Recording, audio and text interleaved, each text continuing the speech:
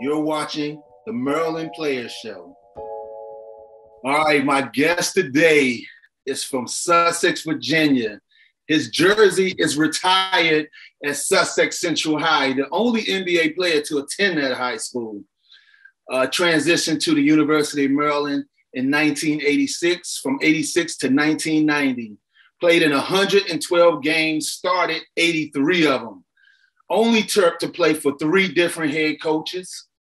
Uh, for his career, averaged 52.3% uh, from the field, 12 points per game, six and a half rebounds. For his career, 1,354 points, 722 rebounds, 97 blocks, 61 steals.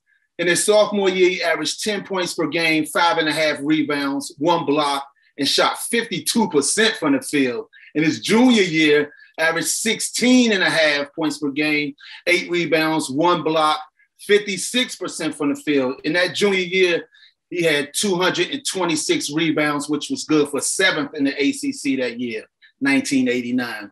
In his senior year, 1990, averaged 18 points per game, which was eighth in the ACC during that time. 10 rebounds.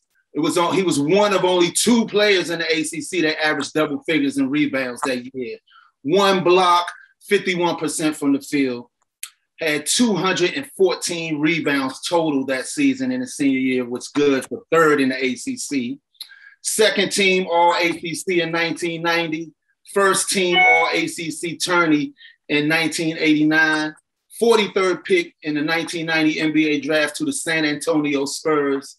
Played in the NBA and overseas for 16 years.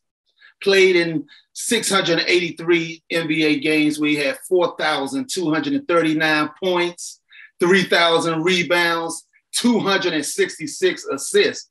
I know he had that many assists. He didn't pass that much, but all right. And he averaged 6.2 points per game, 4.3 rebounds. Has an NBA championship with the Spurs in 2004 2005 season. Won two championships in Barcelona former sports show host on the Hoops Wizards, author of a book called Lessons from Lenny, and a sports analyst for the Wizards and the Go-Go's currently.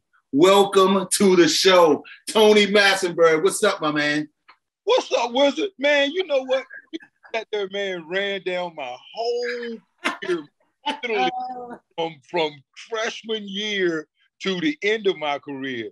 And, and was excellent, bro. You you just told me some stuff about myself I didn't even know. yeah, man. you missed one though, man. You missed What's one. That? One thing out of all of that stuff you call. What's that? World, what, champion, what? World champion in 2000. No, I said that NBA championship with the Spurs, 2004, 2005, oh, okay. man. Trust, I ain't forget that. I, all this stuff, man. I ain't gonna leave that out hey, hey, definitely ain't leave that out, bro. that's one hell of an introduction right there, man. Hey, wow. man, thanks for joining the show, man. I appreciate you so much. Let's get right into it. So, what was it like, man, growing up for you as a youngster in Sussex, Virginia, in the, in the Massenburg household? Well, first of all, um, you got to start my story out with the fact that I'm an only child. Okay, so the whole sibling rivalry thing and playing against your big brothers and all that stuff, I didn't get any of that. Right, right. I was a child, so the only people I really got to play basketball against were like my next door neighbor, who was you know a year younger than me and smaller than me, because you know obviously I was the biggest kid in school. So I played as a, as a kid, as a shorty, like fourth, fifth grade. We we would play, and of course my uncle, who I just told you about and, and, used to cheat. You know how you got that uncle yes, who's sir. like like 12 to 30 years older. He's like the youngest uncle, but he's close, he's close enough in your age, and then he cheats. You know what I mean? beat up and stuff, you know what I mean? Because he's a grown man and you're a kid. So I had that type of experience growing up um, as an only child. Obviously, spent a lot of time by myself because you know that's that's just what it is growing up in the country. And I didn't really get to see my friends until I went to school. So, um, you know, just being an only child, man, I, I, watched a lot of television. I played a lot. I rode my bike, you know, for miles and miles, you know, away from my house. I come from a big extended family with cousins. So that's really, you know, the people who really filled in for like my brothers and sisters. So I feel like I didn't really miss out on that as much because I have a huge extended family. Yeah. So so Maz, um, you were you were not a all American in high school or what have you. So going through the process of choosing what school you wanted to go to, uh, why did you choose the University of Maryland? How did that that process come about? Well, first of all, we're coming from a small town. Uh, people have to recognize that you don't get a lot of exposure, um, not even like statewide. You don't get a lot until you like make a big splash. Like the biggest guy from our, you know, from our area, 15 minutes from me in Petersburg, was Moses Malone.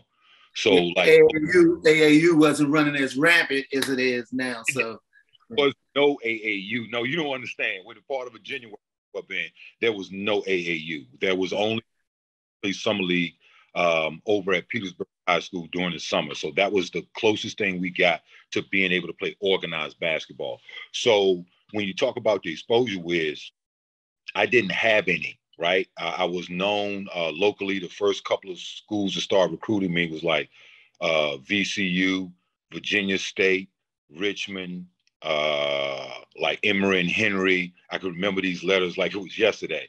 so till I went to five star at the end of my junior year, going into my senior year, that summer, that's when I got the exposure. And I went to five star and got to obviously compete against the top dudes in the country and I ended up leaving there a standout. And at that point, um, that's when I got the attention of the University of Maryland.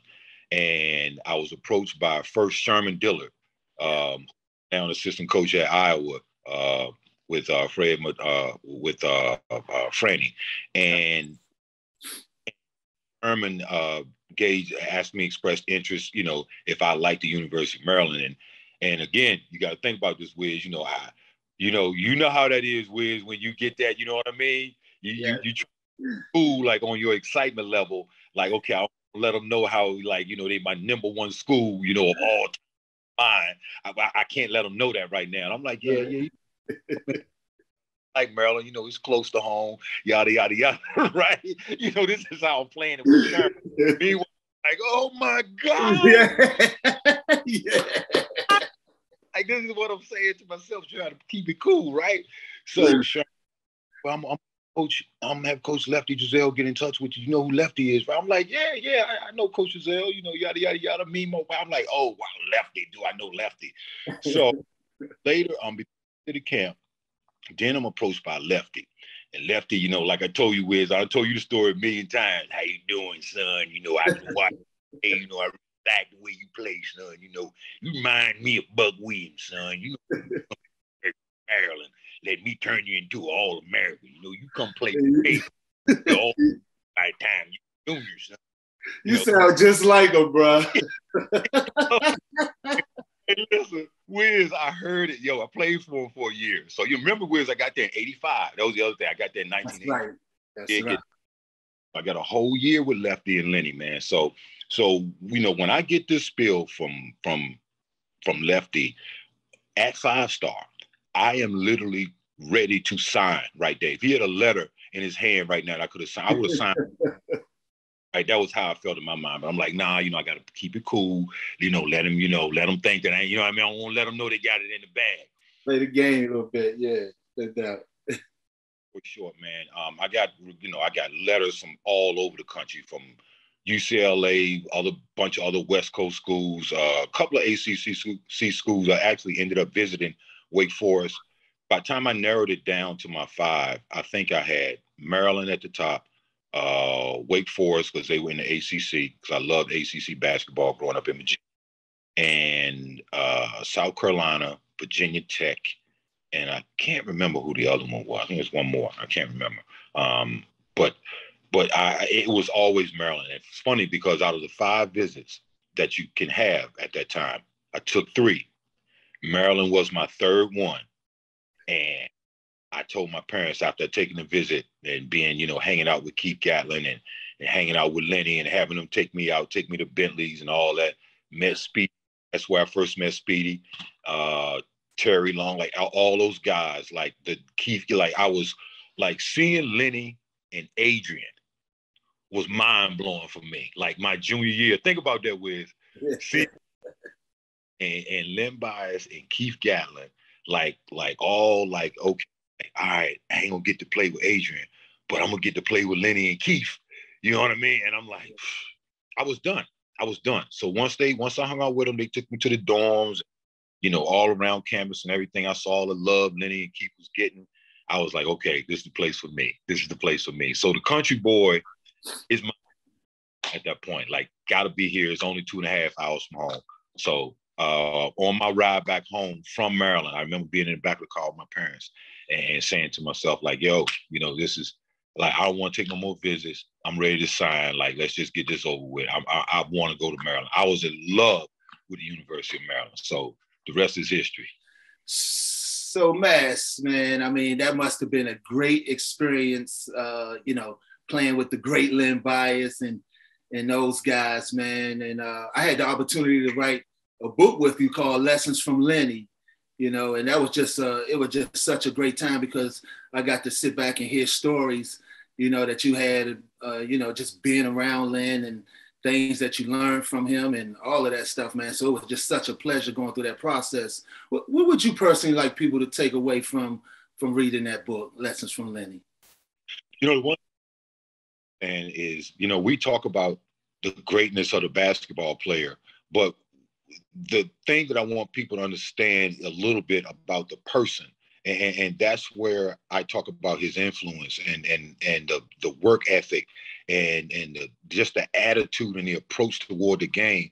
Like I, I would like to think that I, I got, you know, I emulated some of that from Lenny, and I guess you know anybody emulating somebody else to a, to a certain degree is just their interpretation of you know what they learned from that person and everybody has kind of like their own spin on somebody's game like your game your yeah. game is all reminded me of, of the iceman but it's it's like it's got elements of magic johnson but when you put the you know a little bit of iceman and a little bit of magic together you know i think you got the wizard you yeah. know what i mean yeah. and it ain't iceman it's the wizard so for me it's like when I look at my game, it was, you know, I tried to do everything that I saw Lenny do as far as the elevation on his jump shot, the jump hooks, uh, you know, his his turnaround jump shot, uh, you know, those things, the things that I thought I could emulate that I saw that were effective for him, for, effective for him, basically unstoppable. Um, you know, those things I tried to emulate. But at the end of the day, my game was probably closer to Buck Williams, who I also tried and take elements from because I saw how effective he was as a dude who, you know, I only had, you know, less than an inch on. Buck was six eight. I'm barely six nine, and I play post, you know, but I play a similar style uh, to Buck, and that was Lefty was the first one that pointed that out to me. So in my mind, my blueprint uh, was always going to be I wanted to be able to shoot buckets like Len Bias and play inside like Buck Williams, you know, and and so have and blend the two. And I think that's what my game kind of ended up being. And, you know, I never got to play with, with Buck Williams, but I did get to play with Lenny. And I saw what made him great, you know, from the the, the work ethic, you know, the, the the the work he put in in the weight room, the, the way he carried himself on the court, meaning like he was always serious when he was on the basketball court. It was about business and it was about letting people know, you know, once you were out there, you were about to make an impact. And and I always tried to bring that part and that element to the game. But that stuff started with Len Bias because for me, you know, coming straight out of you know, out of high school, out the country, you know, and coming up here, you know, to the big time, I was playing with the best basketball player, you know, pro, uh, uh, amateur basketball player in America, and Len Bias. Len Bias was in everybody's mind the best basketball player in the country, you know, outside of the NBA, because at that time you know, big men were still dominating the game. Yeah. So Brad Daugherty ended up being the number one pick was because Cleveland needed a center. But, but if they wanted, they needed the best player, they would have took Len Bias. So, yeah. so, so that's what I tried to take uh, as much from his greatness as I could, and and try to in the, in the process make myself into a good player.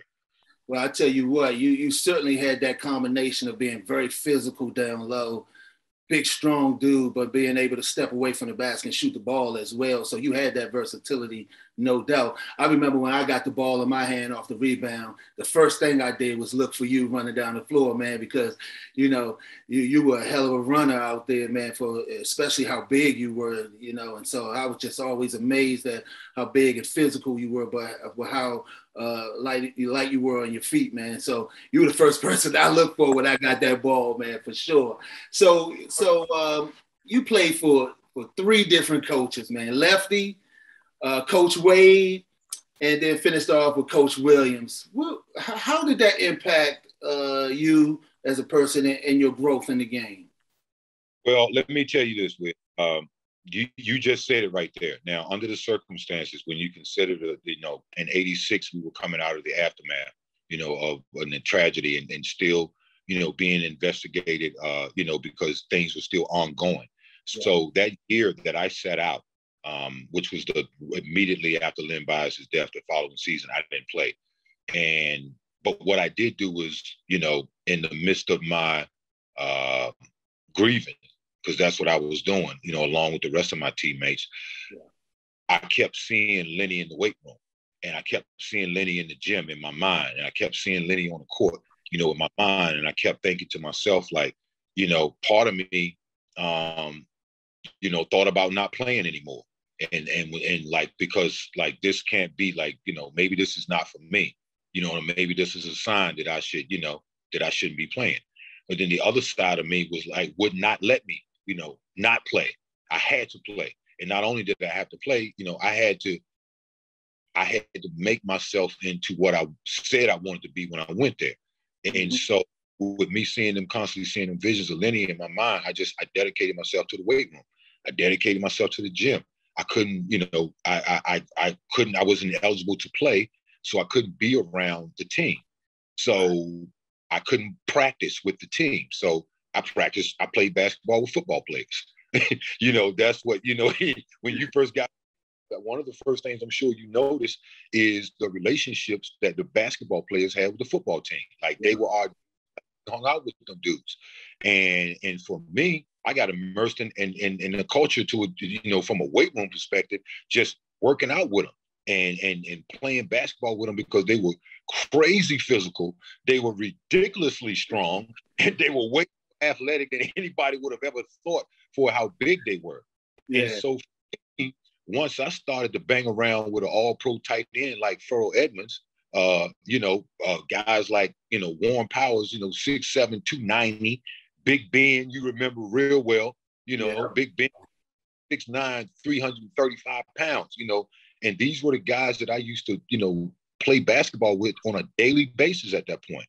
So I dedicated that year to forging my body into what I wanted to be. And for me, at that point, when I turned 19 and I stopped growing, you know, vertically, that's when I started to be able to put on weight. And it was that year from uh, that was the year that the weight room really kicked in for me and and my body i sort of grew into my body. And i came back the following year you know a much better player a bigger stronger player and i became the guy that, that you saw when you came on campus because you had seen Len Bias play and you knew you know i was the skinny i was the skinny dude that would get in you that would start a couple games here and there. but like he was swole, bro. he was like this. Man came back ready. So because I was that first game was when I was eligible to play. And by the way, um, you got to consider this for me as well. Not only did I miss that year, but I was eligible to play that first semester of my sophomore year, and Bob Wade set me out for another semester. Um, so I didn't get to play a full semester of my sophomore year that I should have gotten to play. And when I came back, I came back as a starter because I was killing dudes in practice. I was, you know, it was obvious that like I was going to be a starter at that point because I was one of the best post players on a on a team that featured seven, you know, All Americans, right. and brought in some dudes at you know the power forward and center position. But I managed to get into the starting lineup because I wanted it just that bad, and I had my first game as a you know fresh, you know, off a year and a half layoff, dropped 25 and, and whatever against South Carolina, who was ranked, I think, at that time. And we set the whole world on notice um, that we were, in, you know, a team to be contended with. So uh, when you talk about playing for three coaches, Um, I just told you about the lefty experience. Um, you know, it's unfortunate for Bob Wade that you know we assembled a team like that and we were able to make that team, that team that had all those All Americans on it. In 87, 88, we went to the second round of the NCAAs.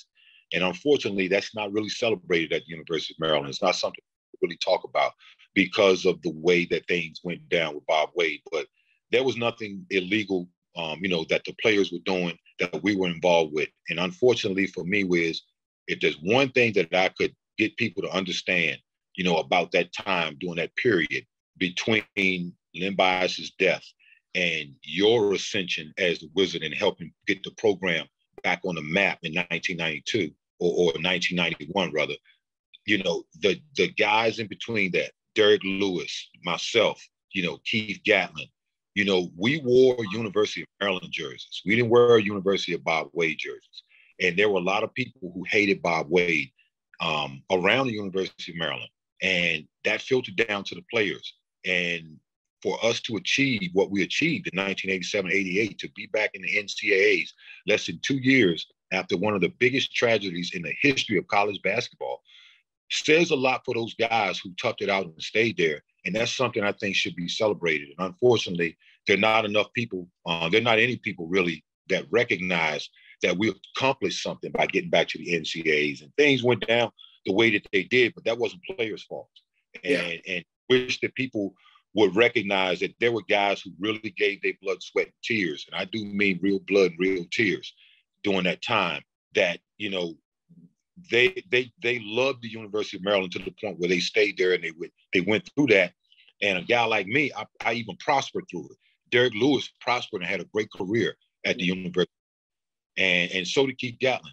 But um, you know, because of the disdain for Bob Wade in so many so many people's eyes, you know, a lot of guys feel like that's that that that goes unrecognized, and it mostly does because nobody talks about the fact that we did get to the NCAAs before Gary got before the, Gary got there. We know how great Gary was and Gary is, and we you know we we know that, but there were guys who who really gave it up, and we just wish a lot of us wish that people would just understand that you know we feel like that should be recognized a little bit because that was an accomplishment, especially when you consider what was going on during that time period.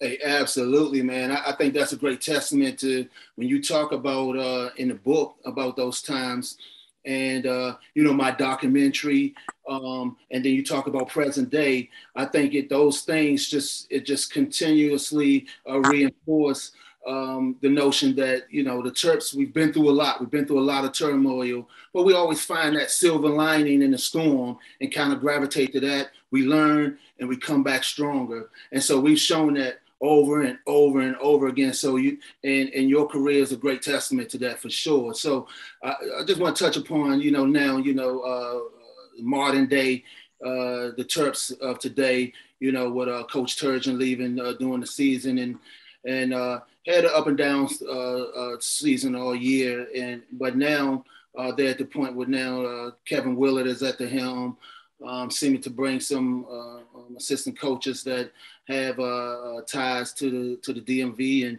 you know hopefully some Terp guys on there as well. So what, what is your thoughts about um, what's going on now in the new hire at, at University of Maryland?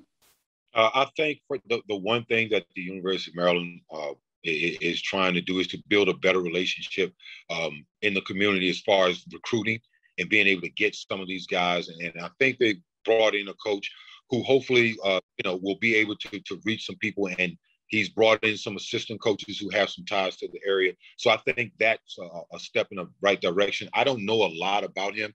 I know you know he had some success at Seton Hall, and I, I, think you know really what's going to this is going to be for me more of a kind of wait and see situation yeah. because I don't I don't think he's a bad hire at all I, at all. I just don't know how it's going to play out um, right now because I don't know enough about him. But I think um, I think he's a good guy uh, for the job from from what I understand, and and if he can build the relationships and, and we can get some some of the homegrown talent, and if we can you know help bring back some of the alumni to the program and, and continue to, you know, try to build a brotherhood, I think that really would help us moving forward.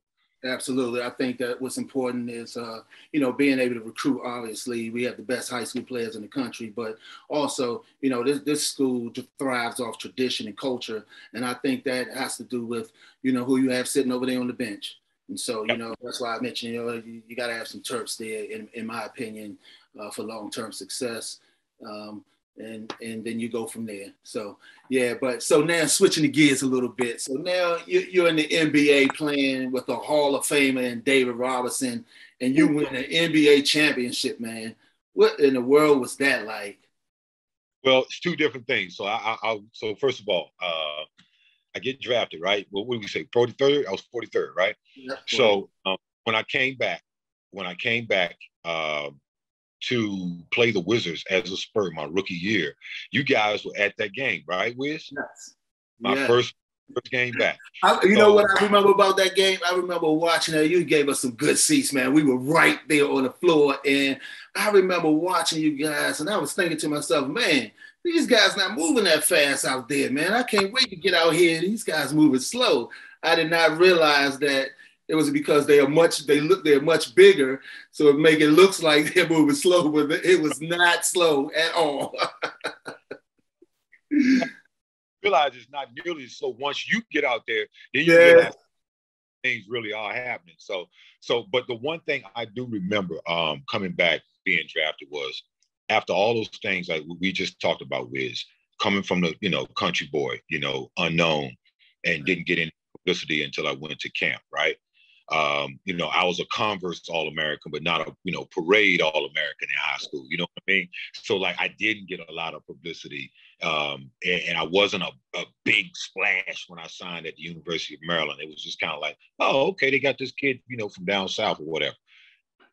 All of those things, from high school to the three coaches playing at the University of Maryland to everything that happened you know, when I came back and I played that game, and I looked back and I saw my former college teammates, you, you know, Broadnax and, and, and like all these guys who, you know, I was just in the dorm with last year.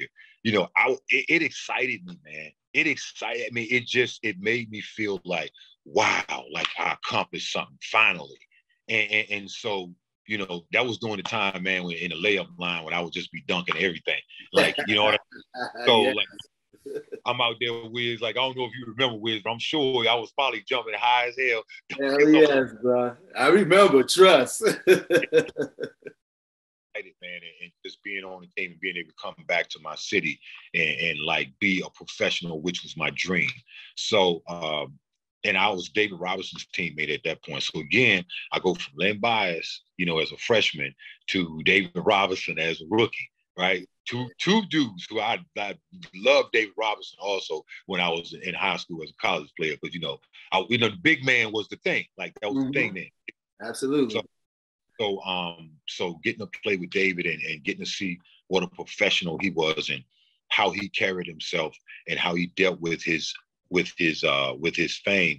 And you got to remember, Wiz, my rookie year, we flew commercial. Yeah. my my rookie year too. I remember. As You're walking through the air, seven foot one superstar. You know what I'm saying? that you up to they can see him a mile away, man. So it would be like a freaking circus sometimes with this guy. But um, but he was a great teammate, man. Uh, Terry Cummings was my vet. And, and, like all of these guys really taught me what it was like. Paul Pressey, um, you know, Sean Elliott was a good friend of mine. You know, we were the same age, he was a year. Um, um, he was in already in the league a year before me, but we came out of the same high school class. And, and like to hang out with him and like he was like you know the, the the hot new you know dude in town because he was he was a high draft pick the year before and he had made the rookie team the whole nine so you know he was like the dude and playing with a point guard like Rod Strickland so I got the real experience oh wow team, man. And, and, like my rookie year was just unbelievable. We ended up losing to what would be the ascension of Run TMC. Mm-hmm. We they we were actually the high seed in the first round because the Spurs had made it to the Western Conference Finals a year before, and so they were expected to, you know, have a chance to win a championship my rookie year. So me and Sean Higgins and Dwayne Schintzius, you know, RIP, uh, we were the rookies. And we were sitting there thinking like, ooh, we gonna get to go to the finals as rookies. nope. EFC in the first round, boy. Chris Chris Mullin, Mitch yeah. Richmond, Hardaway, man. When I tell you they went small on us, Tom Tolbert was a, was a 5 and he was shooting Dave, bringing him away from the basket. When I tell you, man, they was giving us the business. They was giving us the business, man. I mean, they that's shot. All right. Well, that's all right. You guys came back and won a won a championship in seven game series against the Pistons.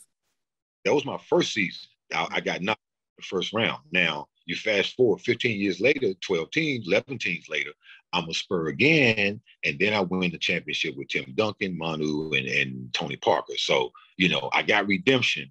Took right. 15 redemption a Spur. You know, 15 years later with Pop as my coach because Larry Brown was the coach my year.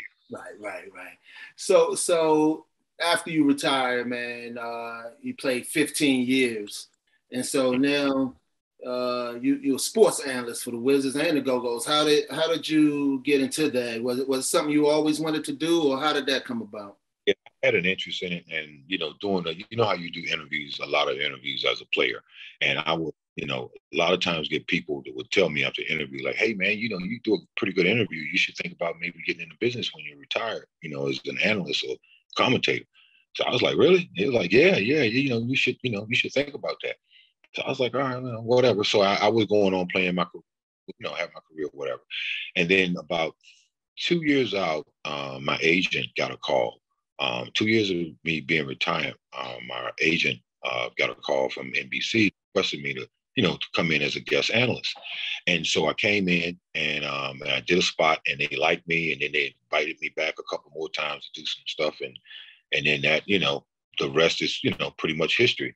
And hey, man, um, you you you you're really good at what you do, man. I've seen you over the years, man, and you just I mean, you're really good at man. You're really breaking it down and understanding the game, being able to relay it to the to the fans and all this. It's certainly a skill set to have, and you you seem like you have caught your stride in that for sure, man. So uh, yeah, for sure, you're doing it. Hey, so look, look, this is my last question for you, Mass. Huh? Tell us something about yourself that most do not know? Uh, most people don't know. Um, uh, you know what, Wiz, man? I'm a, uh, you know, I'm kind of a homebody now, man. You know, you you remember me being young, and you know what I mean, hanging out. oh, you know, always have at some point, man. But you know, a lot of people and a lot of people think it's because you're, you know, former athlete or whatever, that you still like the, you know, quote unquote party lifestyle and stuff, man. But I, I, you know, I, I like to just chill at home. I'm, I'm more of a I'm a movie buff. That's what a lot of people don't know about me, man. I like like my old school, much like I like my old school rap music and and you know R and B. I like my old school movies, you know. So comedies and and uh, you know, it's funny, you know, crazy stuff, you know, gangster movies. So action movie stuff like that. So that's something, you know. I, I guess maybe I've gotten away over the last, even way before COVID. You know, I've I've been watching, you know, I've really been into just kind of chilling at home more like the last probably six, seven years. Man, that is awesome right there. Hey, Tone, thank you so much joining me today, man. Listen, we we played in college together. We played on the Rockets together. We had a show called Who Wizards together. We wrote a book together. Good grief, man. You have been a, a, such an important part of my life it's such a pleasure to be able to call you a friend, bro. Uh, thank you so much for joining us today, man, for sure. Thank you for having me, Wiz. To host a fan show or appear as a fan on a fan show, create a profile in Fan Media Network. Then look for the news page in our website and fan show resources page. Help yourself. We give show hosts a show graphic and team colors, a simple short show format, tips on pre and post production, ideas to get fans and guests on your show, Apple News distribution, and show sponsorship sales and services to help featured show hosts earn money. Show hosts use our iPhone app to publish their shows. Our website supports Android users.